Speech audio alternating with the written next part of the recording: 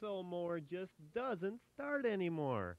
I hope that nosy old neighbor of mine isn't looking. Hey, Jim, what you doing? Uh, uh, just fixing the old mower here. Well, you've only had it since 74, and it looks like that mower's had all the fixing in the world. Nah. Well, I'm no expert, but I don't think duct tape and binder twine is supposed to be used to hold the engine on. Well, what would you suggest?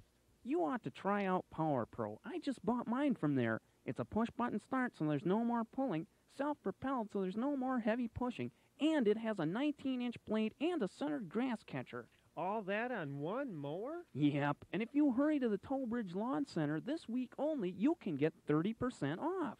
Well, forget the duct tape and binder twine. I'm getting myself a new lawnmower. You know, Larry, I always thought you were a smart guy. Aw, shucks. Hurry to the Tollbridge Lawn Center for our 30% sale, 919 High Street in the Blue Ridge Shopping Center.